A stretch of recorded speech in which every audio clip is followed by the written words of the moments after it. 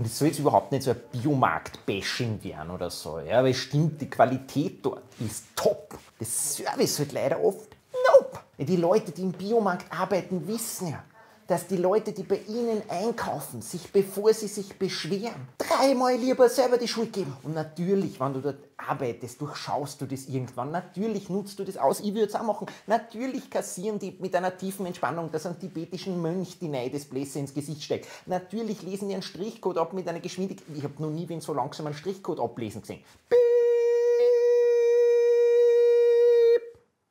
Muss ich schnell gewesen sein, da muss ich nochmal piep und wir gestressten Wiener Bobos nicht kennst uns eh stehen davor sagen, toll! Im Biomarkt schreien die leider nicht, zweite Kasse bitte, die sagen, ja, macht's die erste auch noch zu.